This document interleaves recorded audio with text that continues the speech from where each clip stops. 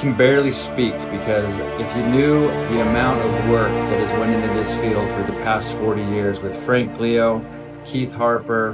Robert Holmes, Rich Billinger, Randy Jordan, myself, Dustin Dreyer, and all the other coaches that helped us and players and people that have donated, this is a huge deal